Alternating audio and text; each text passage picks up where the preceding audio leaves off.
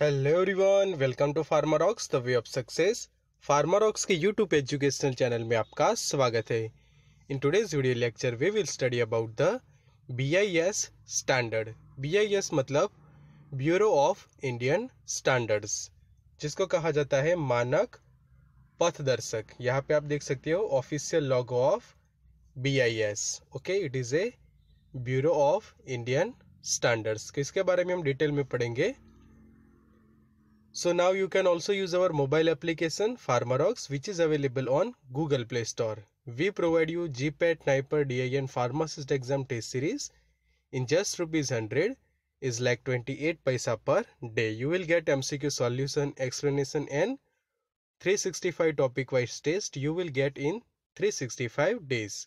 For more details you can contact on 901631 2020. So first of all, what is BIS? So the Bureau of Indian Standard is the national standard body of India working under the aegis of Ministry of Consumer Affairs, Food and Public Distribution and Government of India. So so, BIS जो है वो एक standard है bureau of Indian standard okay कि जो अलग अलग qualities and standard जो है वो कंसिडर करता है और वो आता है under the Ministry of Consumer Affairs, Food and Public Distribution and Government of India. So it is established by the Bureau of Indian Standard Act 1986 which came into effect on 23rd of December 1986.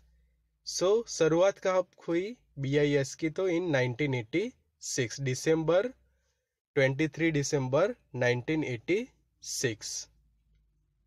Next is a new BIS Act, a new Bureau of Indian Standard Act 2016 which notified on 22nd of March 2016 की जो अभी latest नया act है regarding the B I S okay latest B I S act की जो है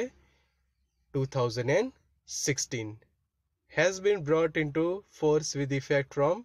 12th of October 2016 Seventeen. तो यह आपको खास याद रखना है, नया latest B I S okay कि जो नोटिफाइड हुआ on twenty second of March two thousand sixteen and effective हुआ twelve October two thousand seventeen से, कि जिसको B I S act two thousand sixteen कहा जाता है। The act establish the bureau of Indian standard as the national standard body of India okay कि national standard body of India जो है वो है अब B I S okay? So B I S का इन्वॉल्वमेंट कहाँ पे है? तो स्टैंडर्ड फॉर्मुलेशंस के अंदर। Then product certification scheme compulsory registration scheme foreign manufacture certification scheme उसके बाद hallmarking scheme laboratory services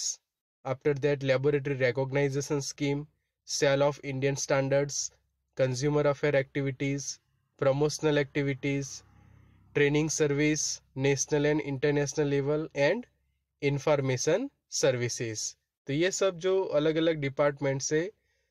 उसके अंदर BIS जो है उसका इन्वॉल्वमेंट है। So where is the B I S headquarters so headquarters at new Delhi okay जो centralise main headquarters है बी का वो है इन्हें न्यू दिल्ली। अब उसकी जो रीजनल ऑफ़िस है, वो हम जान लेते हैं। टोटल फाइव रीजनल ऑफ़िस है। First in Kolkata in eastern India in southern India in Chennai in western it is Mumbai for northern it is Chandigarh and central it is a Delhi so total पाँच regional office जो है, वो available है of B I S अब ये जो पाँच regional है, उसके अंडर में अलग अलग ब्रांच ऑफ़िस आती है लाइक अहमदाबाद, बेंगलोर, भुवनेश्वर, भोपाल कोयम्बतूर देहरादून, फरीदाबाद, गाजियाबाद एक्सेट्रा अलग अलग ट्वेंटी जितने रीजनल ऑफ़िस जो है, वो अवेलेबल है।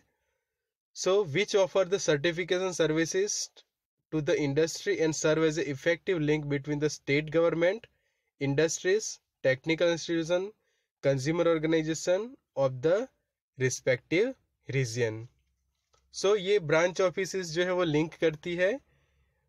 इंडस्ट्रीज़ uh, को with the state government as well as with the central branches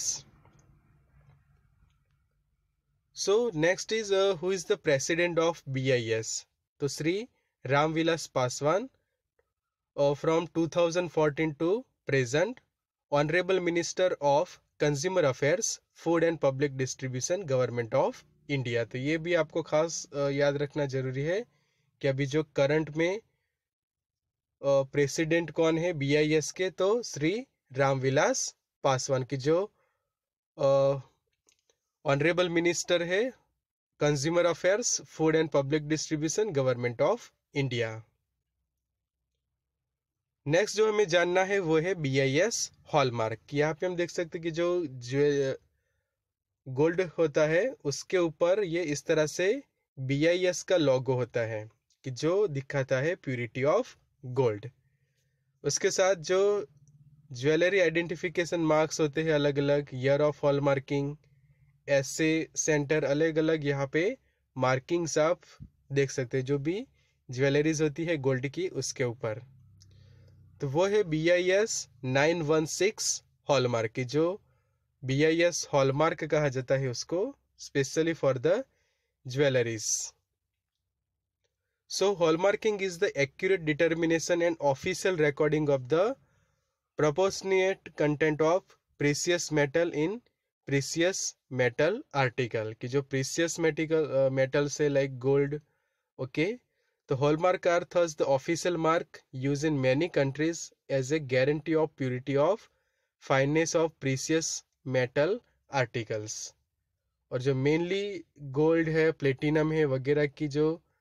purity जो है ओके गारंटी ऑफ़ प्योरिटी इससे आपको मिल जाती है कि जो वो प्रोडक्ट पे समझो कि बी आई एस हॉलमार्क है तो it is consider to be the guarantee of purity In India, at present, two precious metal, namely gold and silver, have been brought under the uh, purview of hallmarking. License is granted to the jewelers by BIS under hallmarking scheme की जो hall marking scheme है उसके under जो jewellers होते हैं उनको licence दिया जाता है the recognition of an assaying and hallmarking centres is done against one five eight twenty two thousand and nine ये आपको खास याद रखनी है जो I S one five eight twenty two thousand and nine कि ये खास इंपॉर्टेंट है regarding B I S hallmark so thank you friends for attending this video lecture you can also use the Pharmarox mobile application you can also start your test series for GPAT NIPER D I N pharmacist exam so thank you for attending this lecture like the video share the video and subscribe the channel for such more educational pharmacy videos. Good luck and all the best.